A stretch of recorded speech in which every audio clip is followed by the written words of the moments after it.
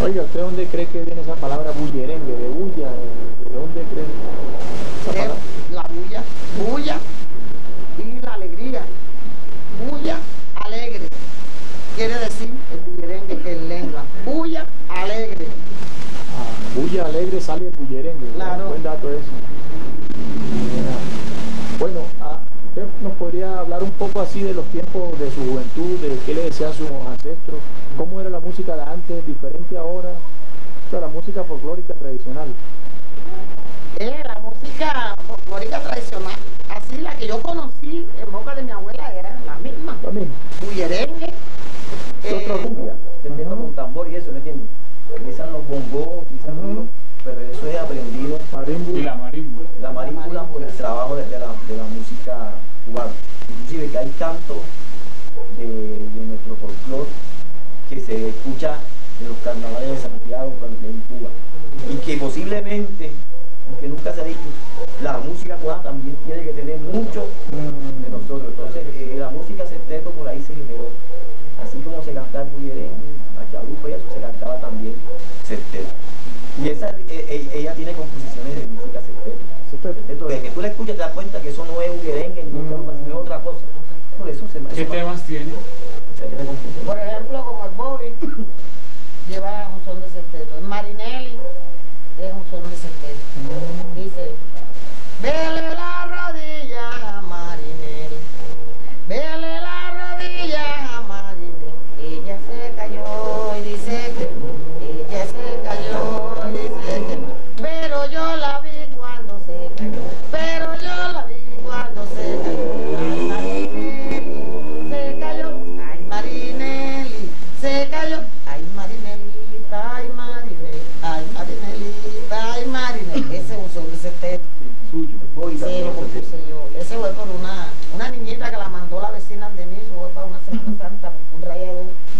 Apretaba un colador para colar un, bandú y se cayó.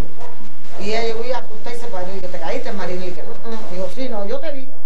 Vele las rodillas en Popeye y dice que no. Y ahí nació llama. ¿Usted escuchaba son de sexteto a su, a su A mi abuela? tío, a mi tío, a mi, a mi tío Felipe Villa.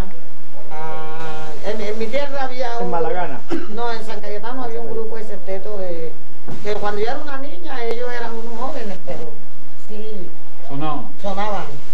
Y bolero también aprendió.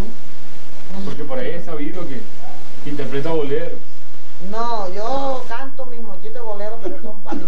Ese no es para que yo los cante. O sea que podemos decir que el, so- el son de sexteto se considera música tradicional popular de, la, de ahí, de esa región. De la Sí. región de Dique, ¿Sí? Adaptado, pues sí, ya, Adaptado. eso, eso, eso viejo ya por ahí. Por ejemplo, ese que, que yo compuse por el hijo mío cuando se pegó la primera borrachera, le daba pena venir ante mí que lo viera borracho. Le daba pena coger el baile porque estaba sucio, sería rebuscado, no sé. Eso lo compuse yo en son de sexteto. Él tenía un perro que se llamaba Bobby. Y cuando vino, él le decía al perro, Bobby, tú no sabes, me van a matar. Pero era como, Ah, es que pensaba que yo, entonces yo pensé que era que había peleado y me fui para Malagana a averiguar si había peleado y me dijeron que no, que no, sino que como se emborrachó y esto. Bueno, ya cuando yo vine de Malagana en el bus venía acompañando mi tema que se llama Bobby.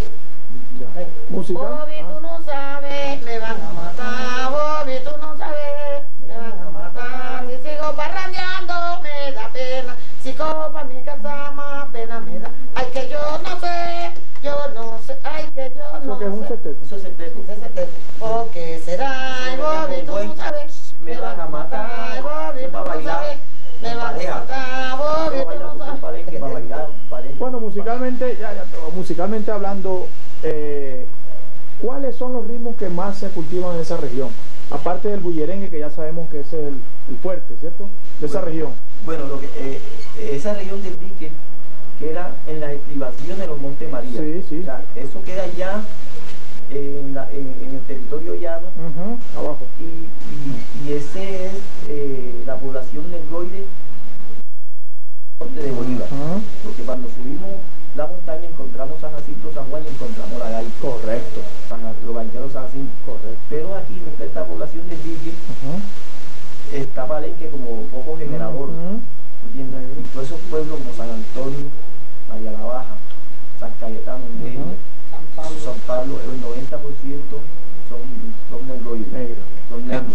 tienen la presencia esa. Ujú. Por ende se quedaron mucho los tambores.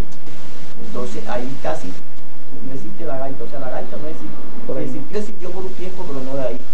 Los tambores y los, y los canto bailado. y los Eh, bailes can- cantados.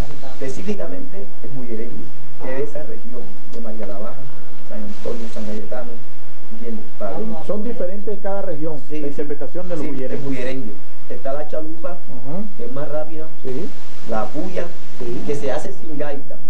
En esa región se hace sin gaita. Y existen las danzas como el son de que son danzas y en callejeras. ese caso la puya sin, sin pito, ¿cómo se llamaría? Puya Puya, puya, puya, se toca también. cantado, Sí. No, pero hablando rítmi- rítmicamente, ¿me entiendes?